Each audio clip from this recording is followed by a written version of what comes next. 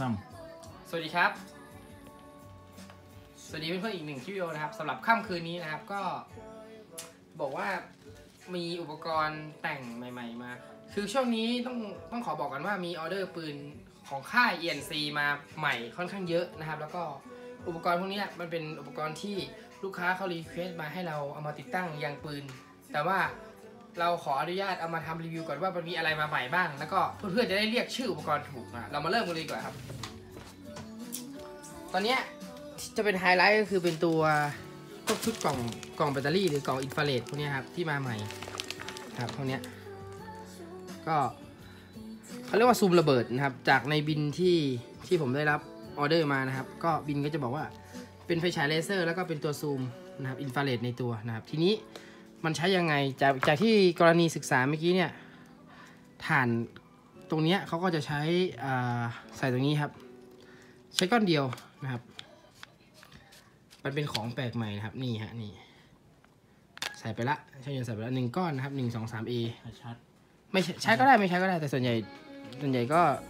เขาจะบอกขั้วนะครับบวกลบอ่าแล้วก็ในตัวกล่องเนี้ยเป็นอลูมิเนียมนะครับเพื่อนๆดูดีๆนะครับ เป็นอลูมิเนียมนะฝาก็ยังเป็นอลูมิเนียมนะครับ ทีเนี้ยการใช้งานน่ะก็คือเอาติดที่ตัวปืนนะครับ ติดที่ตัวปืนเดี๋ยวเราจะมาติดให้ดูกันนะครับ ดังภาพสวยๆที่ลูกค้า request มาให้แต่งนะครับเดี๋ยวเรามาพูดถึงอุปกรณ์ก่อนมันจะมีโหมดสวิตช์ปิดเปิดนะครับ อยู่ค่อนข้างหลายโหมด ผมไม่ค่อยเก่งตรงนี้นะผมขอให้นึงแต่สวิตช์กดจะอยู่นี้นะฮะสวิตช์กดติดปล่อยดับอะไรตัวนี้อยู่ตรงนี้นะครับ มันจะมีเปิดเปิดหน้านะครับ เปิดหน้าออกมา ก็จะเจอไฟฉายนะครับ ไฟฉายตัวนี้ก็จะมีเลเซอร์นะครับ มีเลเซอร์แดงนะครับ แล้วก็เป็นตัวส่องสัญญาณอินฟราเรดแต่ต้องใช้ร่วมกับกล้องอินฟราเรดนะครับ ซึ่งเอ่อตรงนี้ยี่ห้อที่เขาผลิตมาน่าจะทำกล้องออกมาด้วยนะ ผมไม่แน่ใจแต่ทีเนี้ยผมจะเอาแบบที่ผมรู้นะครับ และเข้าใจและอธิบายให้เพื่อนๆฟังใครที่รู้ก็ช่วยบอกในโพสต์ที ผมก็ไม่ค่อยเก่งตรงนี้นะครับ แต่พอดีมีออเดอร์สั่งเข้ามานะครับก็เดี๋ยวเราโหมดบิดมาที่โหมดตัวนี้นะครับโหมดยังเยอะโหมดเยอะมากอันนี้อันนี้อันนี้เลเซอร์กันใช่ไหมครับ เลเซอร์แดงเลเซอร์แดงออกเลเซอร์แดงแล้วก็มีสัญญาณอินฟราเรดออกด้วยนะครับแต่ที่รู้นะมันก็จะมีนะครับมันต้องเปิดหน้าเนาะมันต้องเปิดหน้ามียางปิดอยู่ แล้วก็มีถ้าถ้าถ้าเราต้องปิดก่อนนะครับแล้วบิดมาที่โหมดตัวนี้จะเป็นไฟฉาย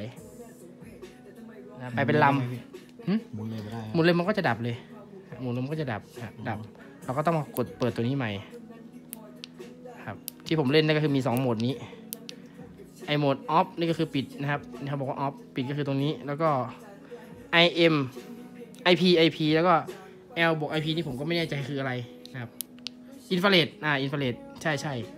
IP นี่เขาอินฟราเรดเนาะนะครับตัวอินฟราเรดเขาจะทำงาน แต่เรามองไม่เห็นด้วยสายตาเปล่านะครับ แล้วก็ LIP นะครับเปิดอีกทีก็จะมีอ๋อไฟฉายบวกอินฟราเรดครับ เป็นสัญญาณกระพริบตัวนี้ก็พี่ อ่าสัญญากระพริบ แต่ว่าเขาจะมีอันนี้มานะ เขาจะมีเป็นหางหนูมาให้ด้วยนะครับสำหรับต่อต่อตรงไหนวะเนี่ย น่าจะเป็นตรงตตรงนี้ครับตัวนี้ นี่นี่นี่ตัวนี้ อ่าใช่ใช่ต่อคลิมไม่พูดถึงเสียบตัวกล่องตัวนี้นะครับ แล้วก็กดกระพริบกระพริบนะครับ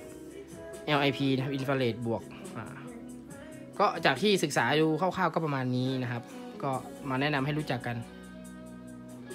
ก็มีสองสีนะครับ ใช้งานเหมือนกันมีสองสีดังกุศลดำกับทรายอีกยอดฮิตเท่ๆเลยนะครับ ประมาณนี้นะอารมณ์อะโอเคนะครับ ต่อมานะครับที่ลองเล่นดูตกไปไหนนะไปเอาตัวนี้ต่อ ตัวนี้ก็ test แล้วตัวนี้เราเคยทำรีวิวไปแล้วนะครับนี่ไฟฉายแล้วก็เลเซอร์เขียวแล้วก็อินฟราเรดนะครับ ตัวนี้ก็จะมีอย่างนี้ครับ นี่ ก็จะมีโหมดของนี่ครับ เห็นไหมครับเลเซอร์เขียวเดี๋ยวเราโหมดมันอยู่อย่างนี้นะครับ อันนี้ต่อหางหนูนะครับ ต่อหางหนู ถ้าเราเอาหางหนูออกนะครับ มันก็จะเป็นสวิตช์อยู่ตรงนี้นะครับ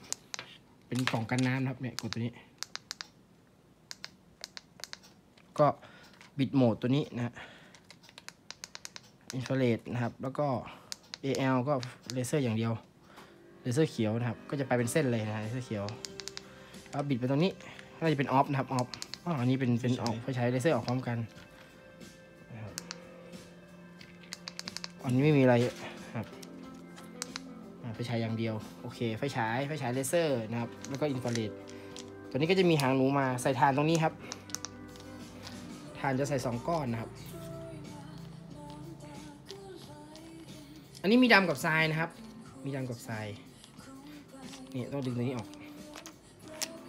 นี่เลยนะครับใส่สองก้อนนะครับถ่านหนึ่งสองสาม A เช่นเคย ประมาณนี้นะครับ อันนี้ก็ test test test ให้ก่อน ผมว่าเท่ดีนะ เอาไปติดเอ่อบนสันหลังของปืนหน้าดอทอ่าเรามีดอท IMR มาครับดอท IMR จำได้ไหมดอท IMR ที่ติดบนเมาส์ของก๊อกนะครับ ติดบนศูนย์หลังก๊อกหรือว่าติดบน ตัวปืนยาวนะครับ แต่ก็จะเป็นจุดส่วนใหญ่จะนิยมติดปืนสั้นนะครับ IMR ดอทติดนะครับเป็นอะไรบ้างพี่เอ่อก็จะมีก๊อกครับ หลักๆก็จะเป็นก๊อกก็แล้วก็พวก M4 ส่วนใหญ่เพราะว่าในกล่องเนี่ยเขาจะแถมนี่คือติดรังเสียงเหรอใช่เขาจะแถมตัวรางนะครับเขาเรียกว่าเมาส์ก๊อกเขาจะเป็นรางรางที่ติดบนสุดหลังก๊อกมา แล้วก็มีประแจขันแล้วก็มีน็อตแล้วก็มีตัวปรับศูนย์นะครับ ในกล่องเขาจะให้มาอย่างนี้ แล้วก็อันนี้ก็จะเป็นจำได้ไหมครับมันจะคล้ายๆกับตัวนี้นะครับ มีโหมดการทำงานเหมือนกันหมดเลย แต่ว่าเขาจะมาคู่กับไฟฉายอันตราไฟตัวนี้นะครับไฟฉายแรงสูงนะครับ ซึ่งซึ่งจะเป็นไฟฉายแยกนะครับ ก็คือคล้ายๆชุดนี้ แต่ว่ามีชุดตัวไฟฉายแถมมา แต่ว่าที่สำคัญคือมันจะมี ตัวนี้นะครับอลังการงานสร้างนะฮะหางหนูคู่ฮานูคู่ใช่ ก็เอาไปติดกับปืนเดี๋ยวเดี๋ยวเรามาดูตอนที่เราติดตั้งเสร็จนะครับ เดี๋ยวเราจะถ่ายภาพสวยๆลงหน้าเพจให้เพื่อนๆชม ก็จะเป็นลักษณะอย่างนี้ เนี่ยมีสวิตช์อยู่ 2 โหมด ทั้งไฟฉายทั้งเลเซอร์อะไรอย่างนี้นะครับ อันนี้ก็จะเป็นแยกก็มีนะครับ จะให้ชุดชแนลมา 2 อันก็คือตัวแยกก็มีนะครับแยกแยกกดก็มี แยกนี่แยกตัวขึ้นมาสองอัน ใช่ใช่ก็ให้มา 4 ชิ้นก็แล้วกันตอนนี้นะครับ ที่ที่ได้ของเล่นใหม่มานะครับ แล้วก็สโคป ANS ก็มาเพิ่มนะครับสโคป ANS นี่ขายดีมากนะครับ ช่างเต๋าซูมไว้ใช่สวยพี่สวยแล้วก็อ่าไปติดปืน M4 แล้วมันใช้งานได้จริงนะครับตัวนี้ กล้องเราคงไม่เห็นแล้วครับ ชัดเจ๋วเลยพี่เห็นแล้วเออเห็นเห็นประมาณนี้ครับประมาณนี้ชัดเจ๋วซูมเอาไปชัดอะชัดชัดโอเคนะสโคป ANS แล้วก็มี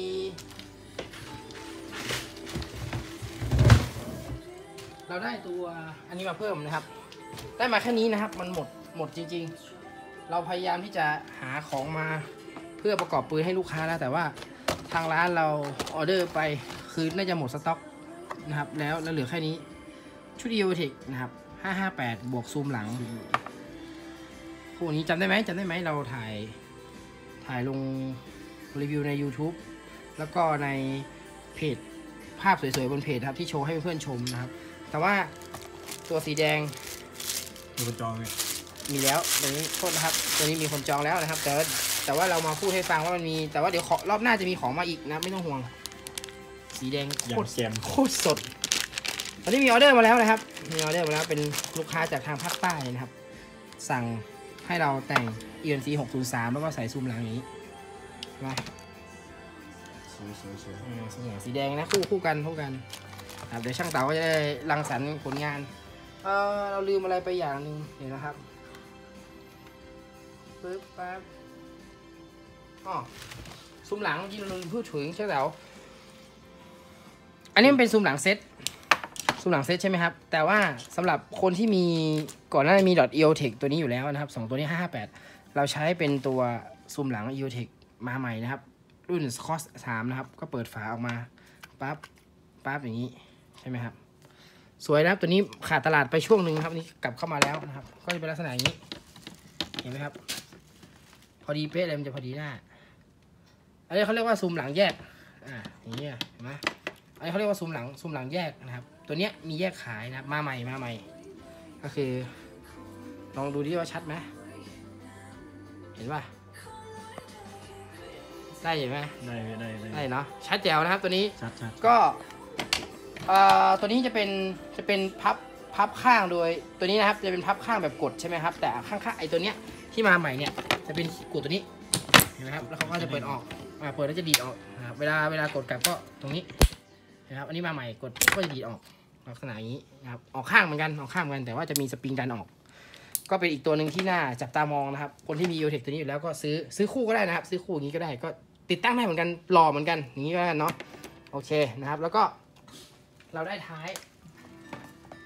เราได้ใช้ตัวนี้มาใหม่ให้ไหม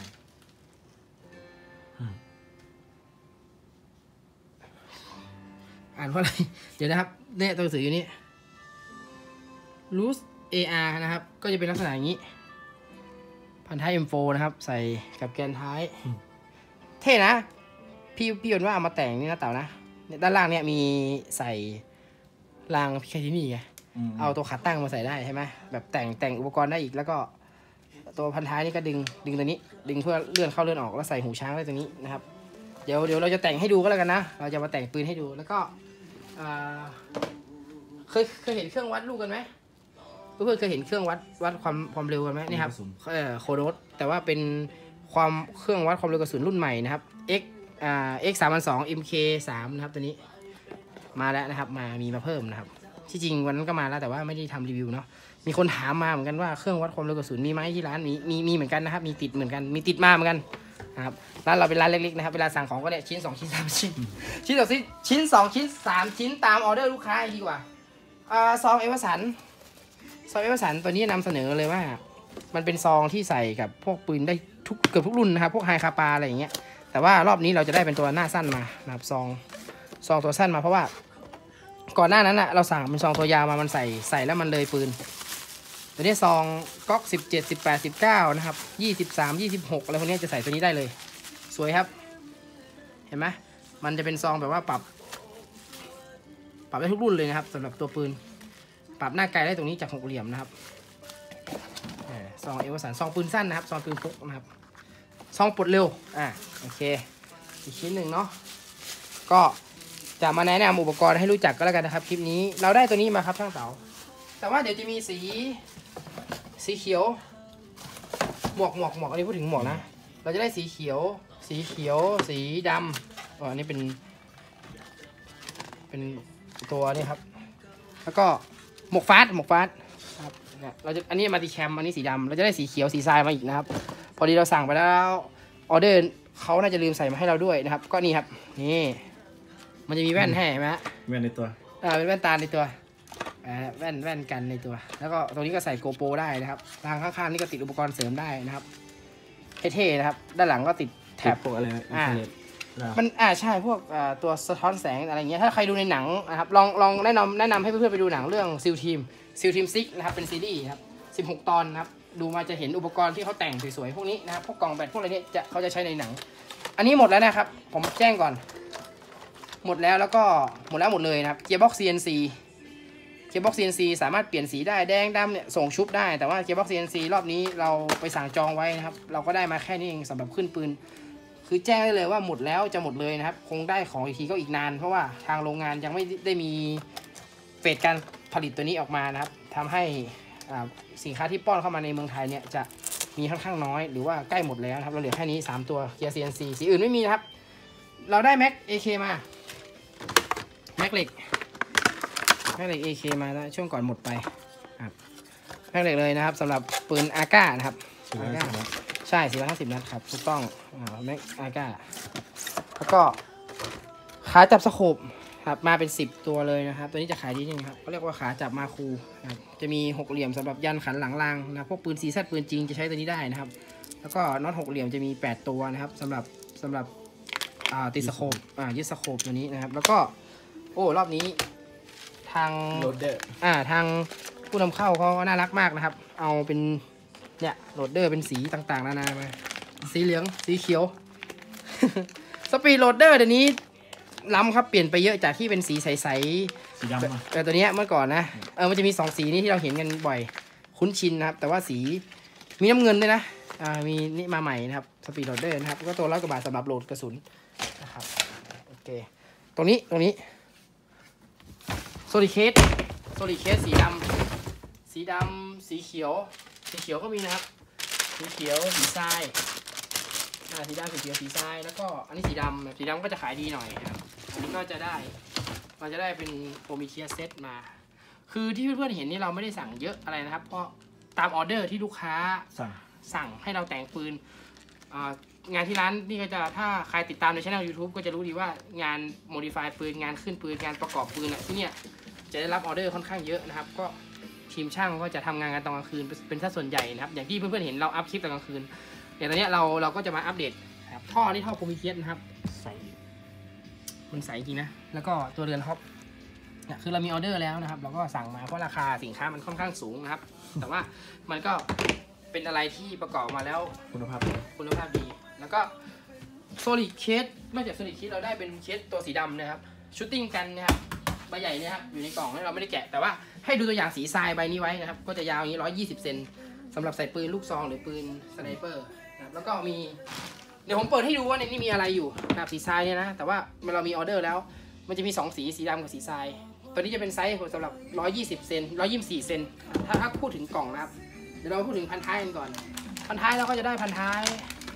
เราได้พันท้ายตัวใหม่มาแล้วเราไปแล้วเมื่อกี้ อันนี้ท้าย CTR ตัวที่ ได้รับความนิยมสูงนะครับบ้านในบ้านเรานะครับ CTR นะครับตัวนี้นะราคามันจะไม่สูงนะครับท้าย Mac Full CTR นะครับแล้วก็สีดำสีดำสีทรายนะครับที่เราได้มานี้ ก็จริงๆก็มีออเดอร์แต่งนะครับเนาะก็เอามาให้เพื่อนๆรู้จักอุปกรณ์นะครับนี่เขาเรียกท้าย CTR แล้วก็ท้ายแฟตนะครับ ตัวนี้ก็ ตัวนี้หลังจากที่เราทำลงช่อง YouTube มีกระแสเรียกร้องมาสำหรับท้ายนี้ค่อนข้างเยอะนะครับ ท้ายนี้มันอ่ามันเท่มากนะครับท้ายแฟตนะครับเส้นสีสีทองใส่อยู่ น่าจะเป็นคำว่าแฟตนี่มันแฟตอ้วนหรือเปล่าอืมอ่าอันนี้ก็คือท้ายที่ถ้า CTR นี่ต้องถอดท้ายออกครับ แต่ถ้าเป็นท้ายแฟตนี่ก็กดตัวนี้ใช่ไหมไม่ต้องเลยอ่าเฟกดลงกดกดแล้วก็แบบสไลด์ออกเดี๋ยวนะอ่านี่ครับเห็นไหมครับ แล้วก็เสร็จกดดได้เลยกดตัวนี้นะกดตัวนี้นะ ตรงนี้ครับ ตรงเนี้ยเนี่ยตัวนี้มันจะโยกออก แล้วก็ สามารถใส่แบตได้แล้วก็แผ่นปิดก็จะเป็นสไลด์เข้าปิดนี้ มันก็เลยทำให้ดูเก็บแบตเก็บอะไรค่อนข้างง่ายนะครับ ก็เลยเพื่อนๆก็เลยถามมาเยอะอ่าถามมาเยอะเพื่อนถามมาเยอะเอ่อเรามาขายกล่องกันนิดนึงอ่าตัวนี้มี อันนี้มีออเดอร์แต่งเดี๋ยวจบคลิปนี้ผมจะแต่ง แต่งแค่ตัวนี้ให้เพื่อนผมนะครับ เป็นเพื่อนเพื่อนกันเองนะครับเขามาสั่งไว้ แต่ว่าจริงๆเราจะขายกล่องนะ เดี๋ยวดูข้างใน เนี่ยครับ ข้างในมันเก็บปืนสไนเปอร์แบบ อันนี้เป็น MB08 สีเขียว MB08 สีเขียวตัวสุดท้ายที่มีที่ร้าน แล้วก็เราเขาจัดเต็ม แล้วก็ให้เราใส่อุปกรณ์พวก CNC นะครับ พวกกระบอกสูบพวกอะไรเงี้ยที่เป็น CNC อย่างเงี้ยนะครับยังไม่ได้แต่งนะครับ ยังไม่ได้แต่งเก็บเสียงด้วยนะครับ ท่อรีดอะไรเงี้ย เรายังไม่ได้แต่งให้เขา แต่ว่ามันมีออเดอร์ให้เราแต่ง แต่ว่าที่เราเราพูดถึงเรามาพูดถึงตัวกล่อง ตัว solid case อันนี้เขาเรียกเคส shooting gun นะครับโฟมก็จะมีโฟมนี่ก็จะมีบุอย่างนี้ครับสองชั้นนะครับเห็นไหมครับเนี่ย information โฟมสองชั้นก็คือใส่ปืนด้านล่างได้อีกชั้นหนึ่งนะครับโอเคนะนะครับอันนี้มีลูกโม่เขามีออเดอร์ลูกโม่แปดนิ้วด้วยนะนี่เพื่อนผมแอบแอบแอบนิดนึงคุณออฟคุณออฟขอบคุณคุณออฟด้วยนะครับเพื่อนสมัยเรียนแอบนะครับอันนี้ก็ลูกโม่แปดนิ้วคาวบอยอ่าใช่ ก็ซื้อปืนสองกระบอกครับ แต่นี้แรงนะครับ สไนเปอร์บอกหนึ่งอันนี้บอกหนึ่งนะครับ ตัวลูกโม่แปดนิ้ว WG ตัวนี้เป็นจะเป็น7 703 นะครับ ตัวนี้รหัส 703 WG ก็มีออเดอร์มาให้เราแต่งนะครับที่ร้านเราก็จะมีผมกับช่างเต๋านะครับสองคนนะครับช่างบอลอีกคนหนึ่งสามคนครับทำงานกลางคืนนะครับ กลางวันกลางวันถ้าเพื่อนๆทักมาผมไม่ตอบอย่าตกใจนะครับ ยังไม่ตื่นอะไรประมาณนี้ อันนี้ออเดอร์างนี้ทางนี้ต่ออะก็หมดละหมดละ เออ เราลืมพูดถึงตัวนี้ช่างเต๋าเฮ้ยนะครับเออเราเราเราเราถ่ายลงหน้าเพจไปหน้ากากมาใหม่ครับ ก็ถือว่าหน้ากากตัวนี้เป็นงาน MFA นะครับ เราตัวบริษัทเนี่ยอยู่ที่ฮ่องกงแต่ว่าตัวฐานการผลิตอยู่ที่จีนนะครับเราก็ส่วนใหญ่อยู่ที่จีนกันหมดอย่างที่เรารู้ แต่หน้ากากตัวนี้มันเป็นหน้ากากเอ่อเพนบอลนะครับ ข้างกล่องเขาจะบอกหน้ากากเพนบอลแต่ว่าทีนี้ คุณภาพของเขาเนี่ย ดูแล้วค่อนข้างโอเคนะครับมีมีปรับสายรัดคางอะไรให้ด้วยนะครับ แล้วก็อะเดี๋ยวใส่ให้ดูก็แล้วกัน ประมาณนี้ นี่ก็จะประมาณนี้นะครับอืมน่าจะแนบแม่ปืนได้ น่าจะแนบปืนได้ดี ดีกว่าโอเคนะเล็งเล็งได้นะครับเนี่ยครับเพราะว่าแก้มเขาไม่ได้แข็งมากแล้วก็อ่า เล็งสโคปได้ดีเลยนะครับตัวนี้ก็รองานทรงได้มา ได้ทดลองงานมาสองตัวนะครับ ซึ่งราคาไม่ได้แพงอย่างที่คิดนะครับ กระจกนี่ไม่ต้องถามถึงครับเอาปืนยิงจ่อก็รับประกันว่าไม่แตกนะครับอ่ายืดหยุ่นยืดหยุ่นแข็งแรงดีนะครับ แพ็กเกจจิ้งก็จะมาอย่างนี้ครับ MFA เหมือนได้เลยอ่าเหมือนของดายของเพนบอลนะแต่ว่างานราคาไม่สูงมากพันกว่าบาทนี้ตัวนี้รู้สึกจะพันสองนะครับพันสองร้อยบาทนะครับหน้ากากแล้วก็เดี๋ยวมาพูดถึงตรงนี้ต่อ เราได้ เราได้ตัว ชุดหน้า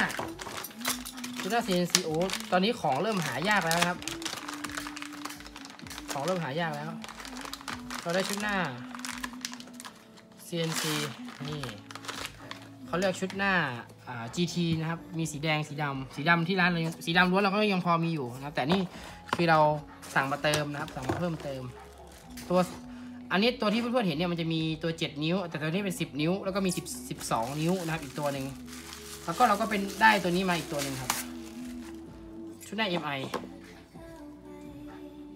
ชุดหน้า MI ตัวนี้ก็ช่วงก่อนขาดตลาดหากันให้ควักเลยนะครับ มีเท่าไหร่ก็ขายหมดนะครับชุดหน้า MI พูดถึงสองตัวนี้นะ ขีดกว่าๆนะครับเอ่ออันนี้ปลอกรถแสงสวยๆนะครับ ช่างเต๋ามาแล้วนี่นี่เขาบอกเราโทรไปจองไว้มันเหลือตัวสุดท้าย แต่ว่าไม่เดี๋ได้ยวส่งงานสักทีแต่ว่ารอบหน้านะครับ ตัวนี้เป็นอลูมิเนียมเอ้ยเป็นสแตนเลสเลยนะครับปลอกรถแสงสวยๆนะครับ คือจริงๆอะมันใส่ใส่อยู่ตัวนี้ ใส่อยู่ตัวนี้แล้วก็คุณเต๋าคุณเท่เขาถอดถอดของลูกค้าผมไปขายก่อนนะครับ เพราะว่ามีออเดอร์ด่วนมาก็สั่งตัวนี้มาแทนแต่วันนี้แต่เท่แน่นอนครับยังไงก็เท่นะฮะแล้วก็เอ่อคันล้าง CNC ตอนนี้เราได้คันล้าง CNC สีดำมานะครับทุกทีมจะเป็นสีบรอนซ์ แต่ว่าคันล้าง CNC นี่เป็นอลูมิเนียมแท้ๆนะครับ เราเปลี่ยนสีได้นะครับชุบได้อะชุดโอริง ชุดโอริงมาแล้วนะครับ เนี่ยเป็นอย่างนี้ ชุดโอริงซ่อมปืนสั้นนะครับ อะไหล่ service สำหรับ magazine นะครับ แต่ว่าเป็นโอริงเกรดสั่งทำพิเศษนะครับ ก็คือหล่อตามบล็อกของตัวปืนนะครับเพื่อจะทำมาหนากว่า อันนี้ของ Beretta นะครับ ของ Beretta ของอ่าหนึ่งเก้าหนึ่งหนึ่งนะครับ เนี่ย M หนึ่งเก้าหนึ่งหนึ่ง M หนึ่งเก้าหนึ่งหนึ่งแล้วก็ เอ่อจะมี Beretta หนึ่งเรารู้สึกเลยจะมี Hi-Capa ด้วยนะครับที่เราสั่งไปอ๋อ Hi-Capa หมดครับ เราได้มาแค่ Beretta เอ่อมอเตอร์อ๋อมีคนถามหามาแล้วนี่อะเรามี MI นะครับช่วงก่อน แต่ช่วงนี้เราก็มีตัว ATS มามอเตอร์ ATS torque ครับ torque เอ่อ M140 นะครับ เท่าเท่ากับรอบ M140 งานดีมากนะมอเตอร์สำหรับตัวปืนบีบีกันไฟฟ้านะครับ แล้วก็ ได้ตัวอันนี้เป็นแกนท้ายมาใหม่นะครับ ราคาจะไม่สูงมากนะครับ แต่ว่าเป็นงานแกนท้าย CNC เหมือนกันอ่าแกนท้าย CNC เหมือนกันอันนี้สีแดงแปลกอ่ามันเป็นตัวใหม่มากนี่นี่จะเป็นลักษณะอย่างนี้เลยอืมกว้างนะ กว้างแล้วแต่เป็นเกลียวปิดนะครับอ่าทางผู้นำเข้าเขาบอกว่าใส่กับอ่าเปลี่ยนกับปืนแก๊สอะปืนอ่าปืน GBB นะครับ M4 พวก GBB ได้ด้วยนะครับ มันมีสีสองสี แกนเบานะครับ ตัวนี้เป็นแกนเบา แกน CNC นี่นี่สีดำทุกทีมันจะเป็นน็อตร้อยจากตรงนี้ใช่ไหมครับ แต่อันนี้ก็คือเป็นเป็นเกลียวนะครับ อ่า เกลียวปิดมา ก็ถือว่าเราก็ได้งานดีมา อะไรบางตัวก็สั่งมาแต่งเติมไว้ที่ร้านนะครับ ไม่ขออนุญาตที่ทางร้านไม่ได้เอาอะไรมาเยอะนะครับ เพราะว่าเอามาตามกำลังศรัทธานะครับที่ร้านเรามี ก็จะมีไกลนะครับ ไกลปรับโหมด ไกแดง CNC ปรับโหมด แล้วก็เซตปลดแม็กนี่ครับชุดลั่นไกปรับโหมดปลดแม็ก CNC เราก็ได้มานะครับสำหรับแต่งปืนเท่ๆนะครับ แต่บางทีมันมามันจะเป็นสีแดงซะส่วนใหญ่เนาะก็ถ้าบางคนต้องการสีน้ำเงินสีทอง สีเขียวอะไรเงี้ยเราชุบได้ เก็บเสียง เราได้เป็นเก็บเสียง 5 นิ้วมานะครับ 5 นิ้วนี่จะมีเกลียวสองฝั่งเกลียวขวากับเกลียวซ้ายนะครับ สำหรับปืน GNP มันจะเป็นเกลียวซ้ายอะไรเงี้ยครับสำหรับปืน M4 มันจะเป็นเกลียวขวานะครับจีนทั่วไปอย่างเงี้ยนะฮะก็สามารถใส่ได้ 2 ด้านถ้าเป็น 5 นิ้วนะครับเอ่อเกียร์ CNC เอ้ยไม่ใช่ดิอันนี้เกียร์ GNC GNC ก็จากโรงงานเขาจะแถมมาอย่างนี้ให้เรามาแพ็คเองนะครับ ก็น่าน่าน่าจะน่าจะเข้าใจว่ามันไม่แพ็คมาให้เรานะครับทำถุงให้ยาวๆไม่ได้นะเพราะว่าถุงมันสั้น มันไม่แพ็คมาให้เราครับ มันให้มาเรามาแพ็คเองครับ ไม่เข้าใจมันเหมือนกันนะครับ ไอโรงงานเอ็นซีอะเดี๋ยวแกะให้ดู ก็เป็นลักษณะอย่างนี้นะครับ เกียร์ขันตูดได้ พอมาพร้อมบูทแบริ่งนะครับอ่างานดีงานดีเกียร์ NC นะครับ KNC แล้วก็มีชุดน็อตแล้วก็อ่าเป็นท้ายแบริ่งไกด์หลอดแบริ่งขันตูดแบริ่งก็คือตรงนี้นะครับ มีลูกปืนอยู่บอกคนไม่รู้เนี่ยฮะอ่าบางคนไม่รู้จักแบริ่งให้ช่างเต่าซูม เนี่ยมันจะหมุนได้อ่าเวลาเวลาสปริงมันเข้าอยู่ตรงนี้แล้วมันโดนอัดตัวมันจะคลายคลายการหมุนให้กับสปริงนะครับอันนี้ก็เป็นท้ายแบริ่งแล้วก็เรามีเป็นสปริงแท้มาร้อยวันนี้เราได้ร้อยวันนั้นเราได้ร้อยยี่สิบมากับร้อยห้าสิบแต่ว่าร้อยสามสิบร้อยสี่สิบแล้วก็ร้อยหกสิบเราหมดนะครับเราก็เลยสั่งมาเติมสำหรับปืนแต่งนะครับที่ที่ร้านนะครับ เราได้พูดไปแล้วคลิปที่แล้วว่าปืนแต่งแรงปืนแต่ง speed มันเป็นยังไงนะครับ แล้วก็ข้อกฎหมายที่มันเกี่ยวข้องนะครับ สุดท้ายและท้ายสุดเราได้อันนี้มา 92F อันนี้คุณเท่เขาให้ออเดอร์นะครับ เพราะว่า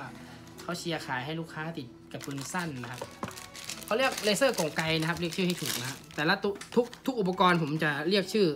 ให้หมดเลยว่าเขาเรียกว่าอะไรนะครับอันนี้เป็นเลเซอร์โกร่งไกเลเซอร์โกร่งไกเปิดซ้ายขวาสำหรับปืน จับโกร่งไกอ่าปืน Beretta นะครับ M92F นะครับ จับปืน Beretta M92F นะครับเลเซอร์เขาเรียกเลเซอร์โกร่งเลเซอร์แดงโกร่งไกก็แล้วกันเนาะตัวนี้จริงๆมันก็ชื่อนี้แหละครับอ่าก็ก็มาแล้วนะครับมาสี่ห้าตัวครับตามอย่างที่บอกครับสั่งของมาขายตามกำลังศรัทธาที่ร้านไม่ไม่ไม่ไม่เยอะนะครับที่ร้านเราเป็นร้านเล็กๆนะครับ แต่ว่า เราสังเกตดูแล้วว่าในไทยเนี้ยมันไม่มีใครทำทำคลิปวิดีโอที่มันเป็นคลิปวิดีโออุปกรณ์ แล้วก็เรียกชื่อของแต่งนะครับอย่างเช่นไมโครทีวันทีทูอุปกรณ์บางตัวชื่ออะไรเนี่ยไม่มีใครรู้จักนะครับ คน คนที่ไม่เปิดเว็บดูก็มีนะครับ คนที่ไม่เล่นเฟซก็มี คนที่ดูแต่ YouTube ก็มี ต้องขอขอบคุณเพื่อนๆแฟนเพจทาง Facebook แล้วก็ขอบคุณเพื่อนๆแฟนเพจทาง YouTube นะครับที่ติดตามช anel YouTube ของที่ร้านนะครับ วันนี้ผมช่างยนต์วิกันลำปาง และร้าน M4 วิกันลำปางแล้วก็ทีมช่างนะครับคุณถ่ายช่างเต๋านะครับ ก็ต้องขอตัวลาเพื่อนๆไปแต่เพียงเท่านี้ก่อน เดี๋ยวคลิปหน้าเรามีปืนตัวไหนมารีวิวให้ชมนะครับปืนแต่งตัวไหนมารีวิวให้ชมแบบเท่ๆ แล้วก็มีอุปกรณ์ตัวไหนมาใหม่ ปืนตัวไหนมาใหม่เราก็จะมาทำรีวิวให้เพื่อนๆดู แล้วก็จะได้เข้าใจอุปกรณ์ เข้าใจรุ่นปืนอย่างถูกต้องนะครับ ก็วันนี้คลิปนี้ก็หอมปากหอมคอพอสมควรแล้วนะครับ ก็ต้องขอตัวลาไปก่อนนะครับ ขอขอบคุณทุกท่านที่ส่งกำลังใจมาให้กันใต้คอมเมนต์ด้วยนะครับ ถ้าผมพูดอะไรในคลิปผิดไปผมขออภัยนิดนึงนะครับ บางทีผมอาจจะเรียกถูกบ้างผิดบ้างนะครับ แต่ว่าเราอย่างที่บอกเราเรียกตามที่เรารู้จักก็แล้วกันนะฮะอ่า เดี๋ยวคลิปหน้านะครับ คงจะได้ดูคลิปรีวิวปืนตัวนี้นะครับเมื่อกี้ช่างเต๋าเขาสกิดสกิดผม ก็อุปกรณ์มาครบแล้ว แล้วก็เดี๋ยวเราจะส่งงานพี่หนึ่งนะครับ อันนี้เป็นปืนจากลูกค้า VIP จากชัยนาทนะครับ